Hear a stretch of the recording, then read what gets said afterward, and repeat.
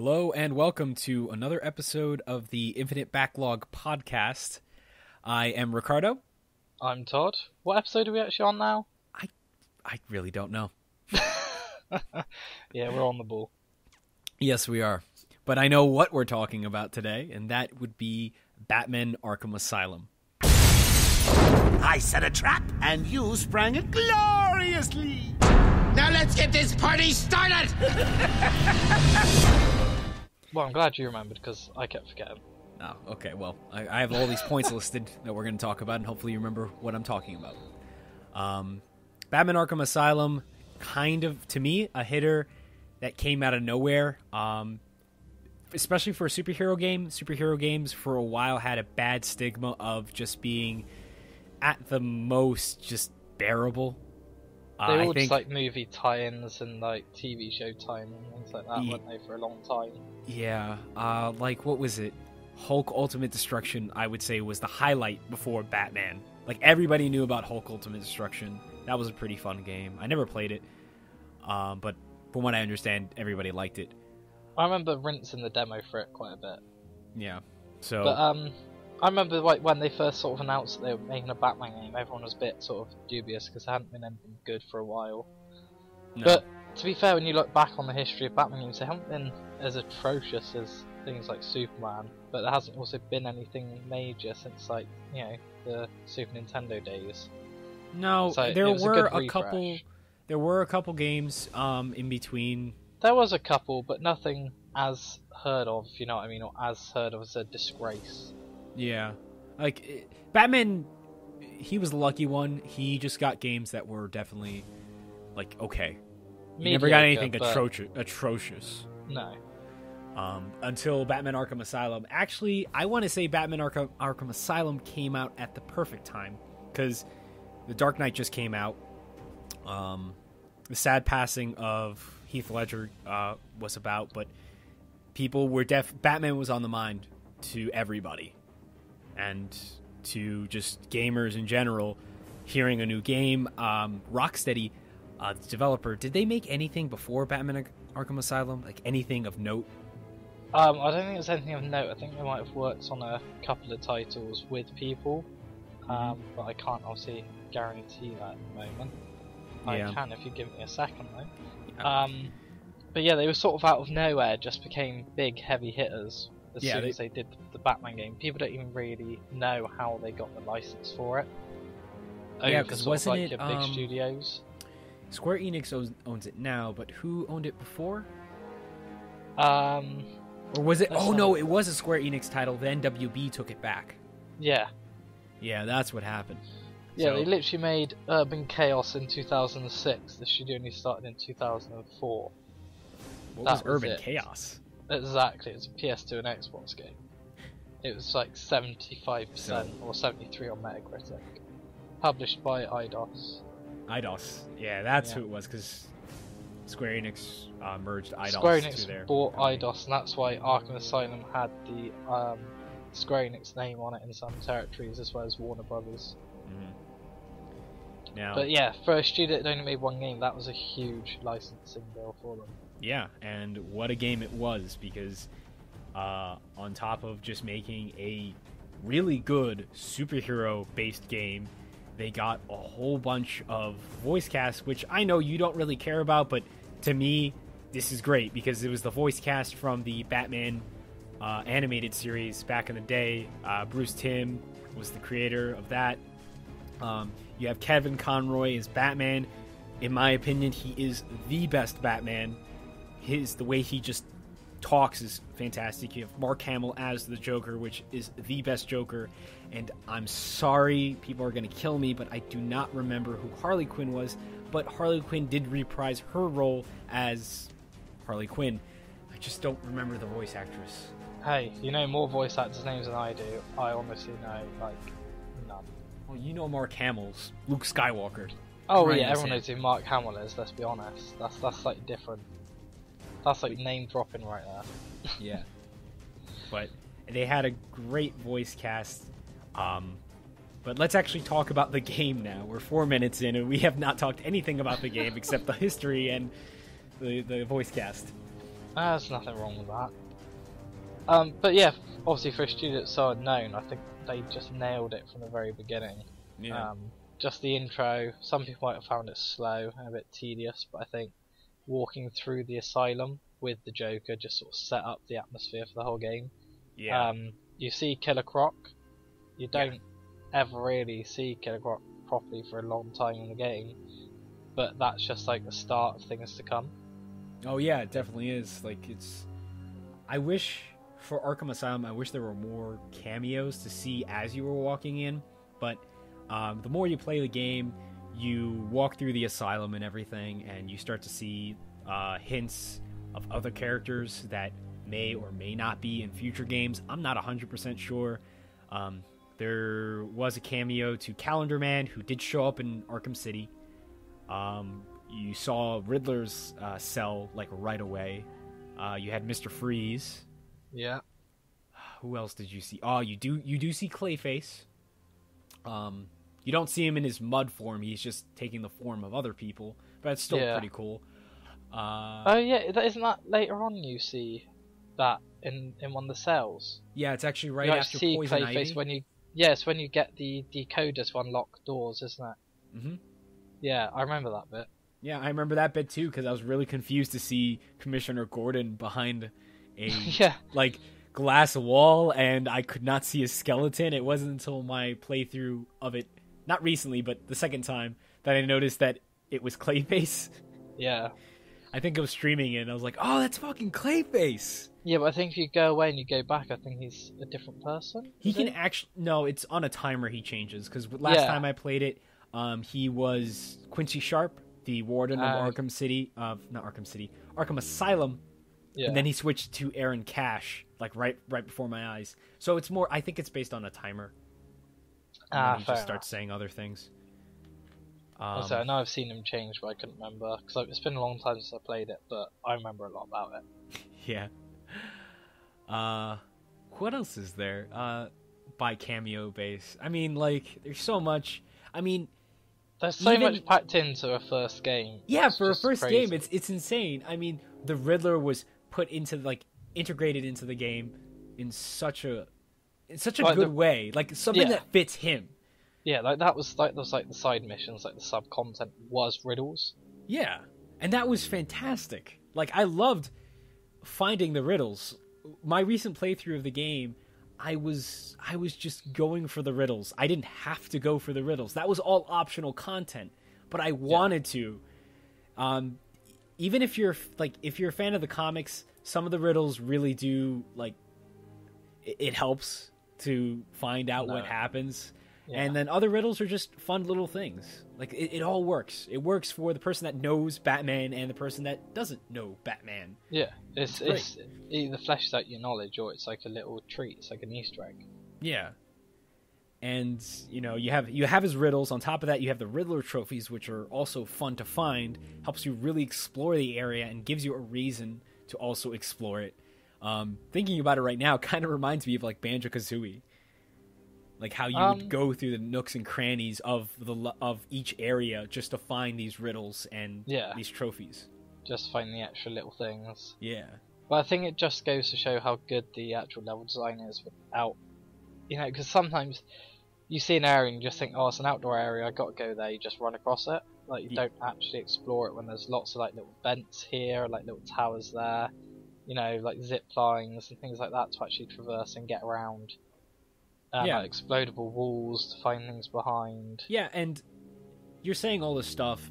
Person that's never played the game, that would sound weird, but you got to understand, like Arkham Asylum is an old, decrepit place for the criminally insane and supervillains of Gotham, and being old, it would have those walls, and then on top of that, you do see how how the old and new sort of mesh together because you have like certain cells to hold certain villains. Yeah, where they've been obviously rebuilt and everything. Yeah, which helps. Like uh, you do see like Mister Freeze's cell. Um, to say if he's in there or not, I'm not hundred percent, but his cell is like s- icicles are forming out of it and everything, and it makes sense. Like okay, yeah, you'd put him in that. He has to and stay in a cold uh, area. got electric electrified floors outside. Yep, you got the electrified electrified floors, which is uh, which that area is pretty cool. Um, Yeah, talking so- about that area, that's where you fight like a whole bunch of goons, and combat is superb for again a first attempt at a Batman game. Yeah, like they they kind of revolutionised like the action game combat, if you will, to the point where it's even being sort of copied by other game franchises. Like it was used in uh, Lord of the Rings: Shadow of Mordor. Uh-huh. Um, obviously not the exact same thing. They did do their own thing with it, but they did use the same kind of free flow combat. I would say that it's more of a simplified version of uh, Assassin's Creed's combat. Yeah, to an extent because Um, essentially you have two buttons you have a punch button punch or kick depending on the action and you have a counter button but I wouldn't say necessarily simplified because with Assassin's Creed normally only one enemy attacks at a time, whereas with Batman, some someone goes to punch it and someone else comes from another angle. yeah Um, I think the AI is a bit more sophisticated when it comes to Batman.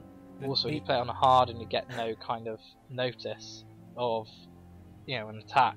You've got to work out what you're going to do, and you've got the different enemy types. So some some you can only dodge, some you can parry.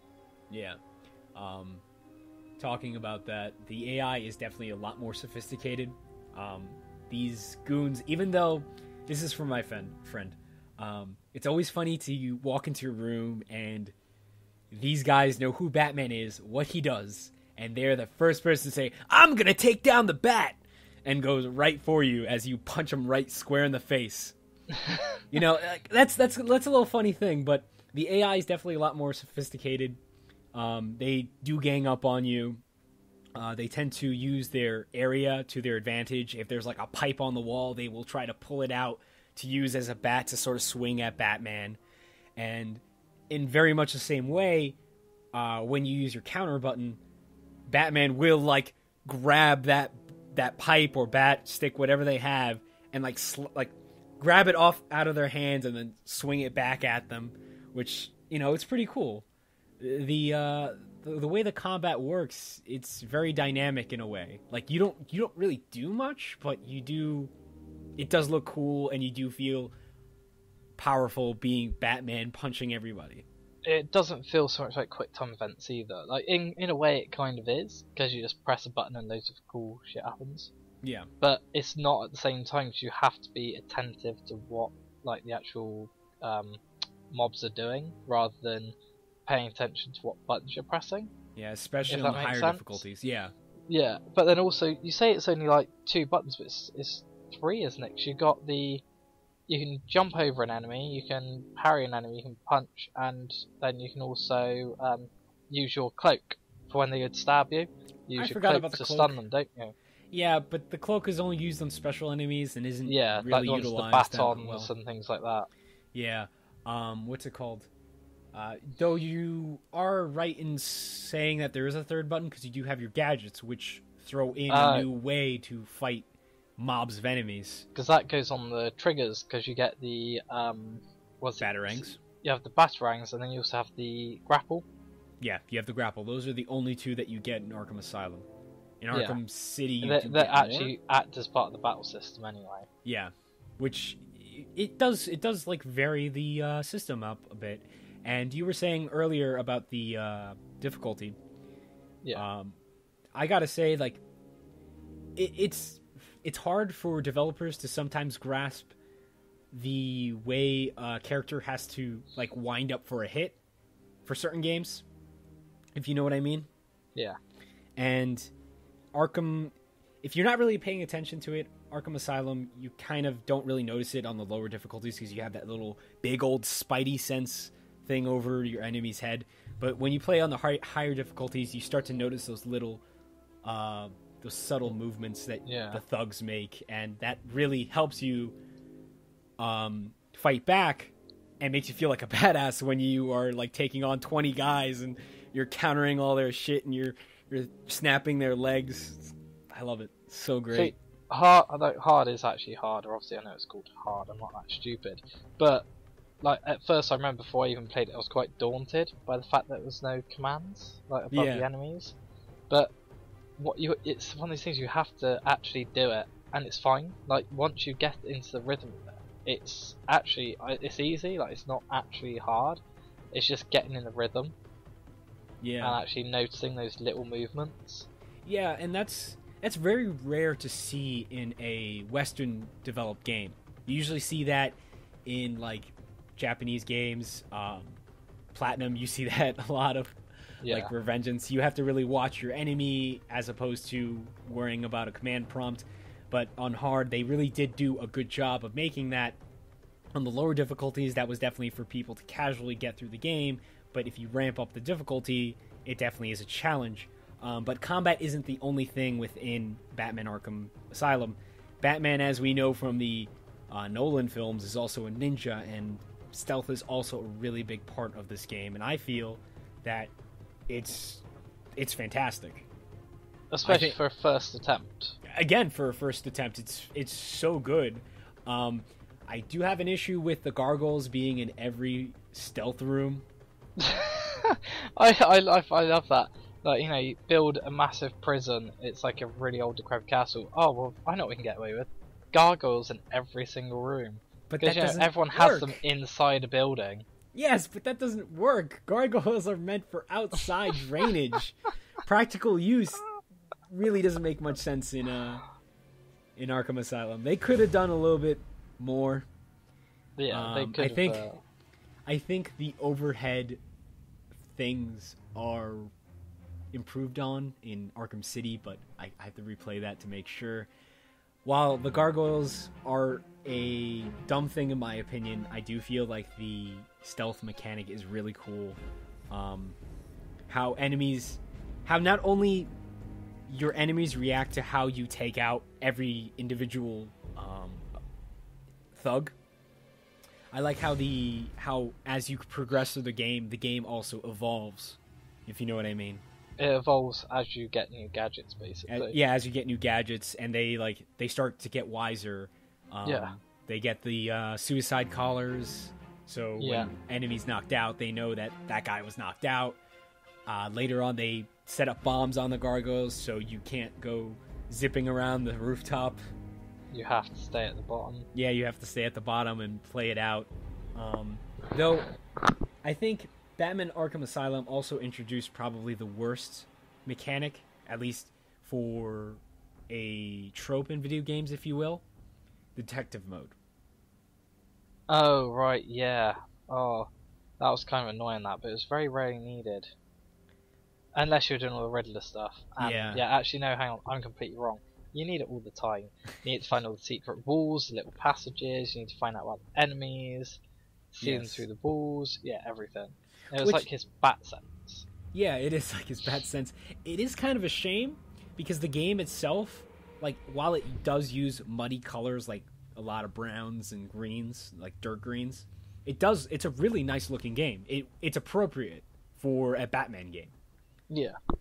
Um, and it is a shame that you do play most of the game in that detective mode. And it is a shame that a lot of other developers in other games use that very same vision and called it something else.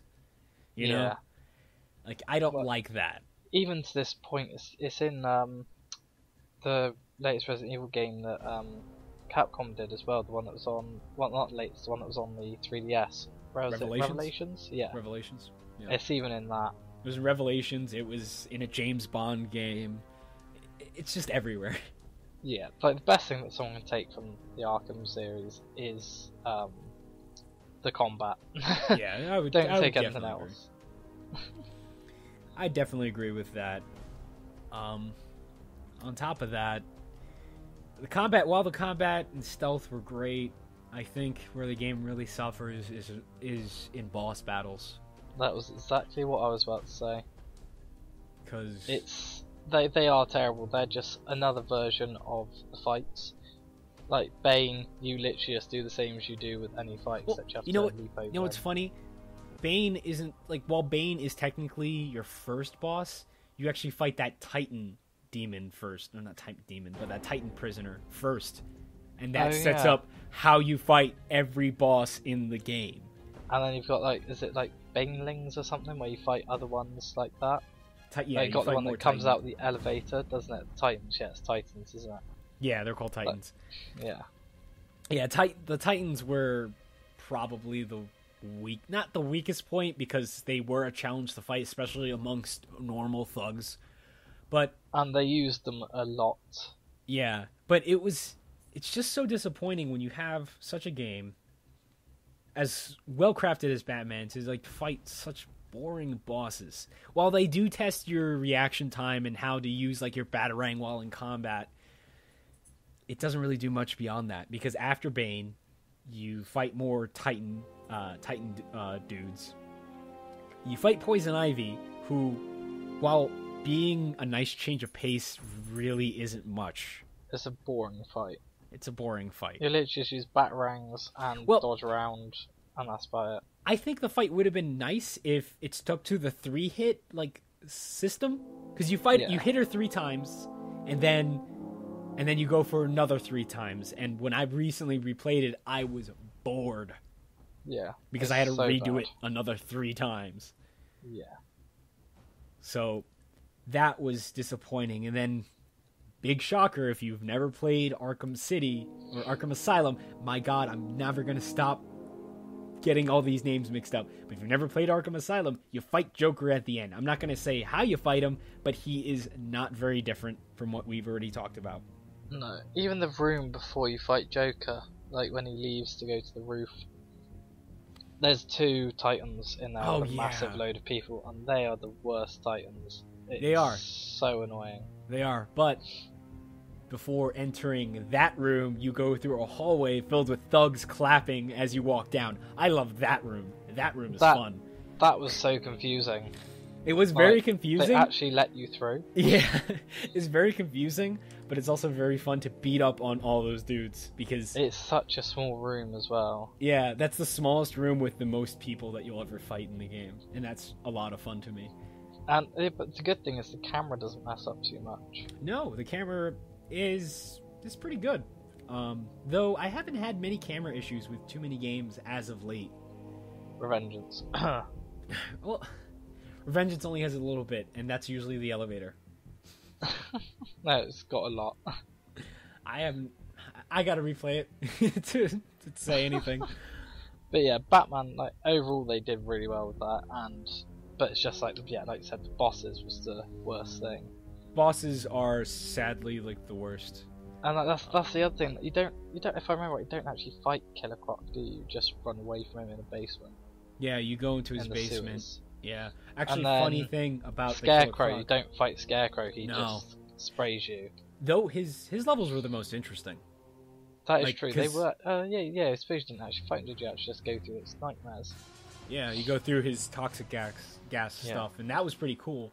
I think I, can't wait the to most see. interesting part of the game. Yeah. Though, uh, funny thing with the Killer, Killer Croc area, um, if you're playing on a mouse and keyboard, the button to counter, um, you can abuse that button uh, while on the keyboard. So essentially, you can get through almost all of Croc's lair by just countering. Because when you counter, Batman moves forward a little bit, and that does not make the uh, boards like that does not give any motion to the boards. So you can get through his whole area by just like kung fuing your way through it. It's fantastic. I bet there's some video on YouTube about it. If there isn't, I'm gonna make it because it's hilarious. Oh, you got to do that. I did not know that. But then who'd want to play it with keyboard and mouse? I did. I did on hard. I streamed that But why? because I didn't have a controller, Oh, dude. and the only suck. way I can play it was through uh, my computer. and that was when I used my laptop. That wasn't it. That was crazy. Oh god. Before you built the rig. Yep, before I built my rig. That's that was really crazy. But See, and obviously, like following on from like the bosses and the cameos.